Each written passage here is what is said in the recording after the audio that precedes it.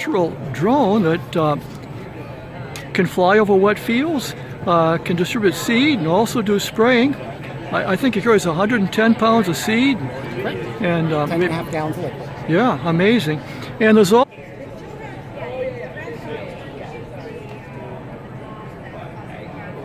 also another drone that can uh, prune brown-tail moths, uh, and that's carried by a, a smaller machine, I guess over here.